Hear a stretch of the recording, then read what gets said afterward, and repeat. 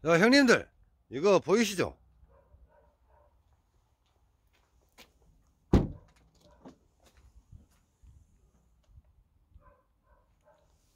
이야. 김기두 사장님. 김기두 사장님. 옵션을 이렇게 많이 넣어갖고, 어, 제작을 했어요. 그래서 서랍식이 있습니다. 이렇게 이렇게 서랍식이 있어요. 겨울에는 우레탄 창이 좋죠.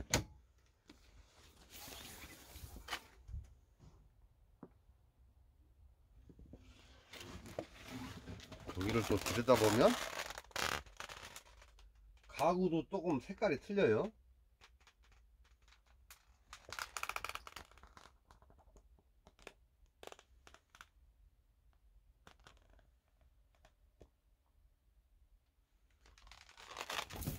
꾸며놓으니까 별거 없네. 꾸며놓으니까 별거 없어. 예. 엄청 좋을 것 같더만은. 역시 꾸며놓으면 별거 없어요.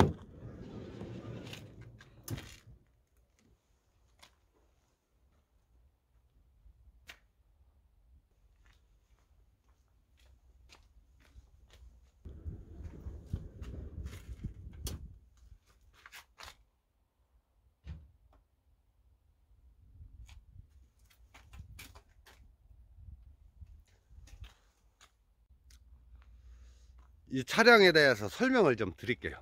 여기 보이시죠? 690만원에 원래 팔으려고, 예, 0927 이거 어떤 손님이 계속 이 차를 달라고 그랬었는데 저희가 못 줬어요. 아, 왜 못 줬냐면요. 이, 이지랄 대시 이게. 차, 이게 찌개차가 방통이 걸린 줄 모르고 그냥 가다가 이렇게 찢어 놓은 거예요, 차를. 그래서 수리를 보냈더니 보험사에서 수리가 불가하다. 그래서 어떻게 할 거냐 그랬더니 시설물 다 물어주고 보험 처리로 그러니까 이, 이 문짝도 이 문짝도 안 열리네. 그 내용은 그거 보시면은 전자레인지랑 냉장고랑 무시동이랑 저 뭐 배터리, 테레비 이런 게 다 달려 있어요. 그 달려 있는 상태에서 내용물에 대한 걸 보험 처리를 해야 되잖아요. 그죠? 캠핑카니까. 그 보험 처리를 다 받았어요. 생각지 않게 많이 받았어요. 그래서 차 파는 것보다 보험료가 더 나왔어. 배터리는 300A가 들어가 있고요. 하여튼 이런 거 다 뜯어서 옮겨야 됩니다. 예. 이 차를 팔아서 100만원 남는 것보다 150만원이 더 남았어요. 예. 그래서 땡 잡았습니다.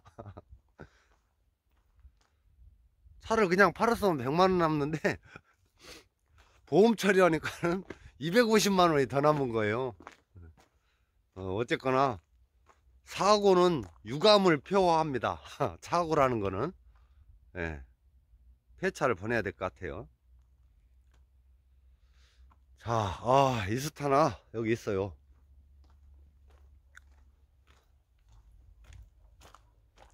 이게 이게 뭐냐면요.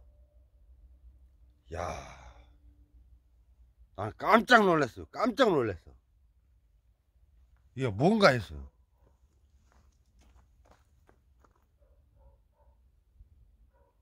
어, 전쟁 난 줄 알았어요. 여기다가 화목난로 설치했더니 세상에 여기서 그 무슨 국물 같은 게 떨어져 가지고 여기에 있었는데 여기서 이게 대기 온도라고 그러죠. 밖에 온도하고 연통 온도하고 안 맞으니까 무슨 국물 같은 게 생기나 봐요. 그래가지고 이 차를 해놨더니 이지랄 대시오.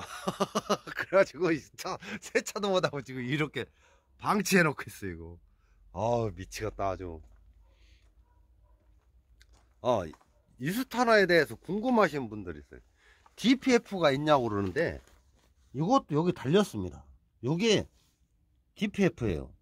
이게 없는 차들은 만약에 구매를 하시려고 그러면 사면 안 됩니다.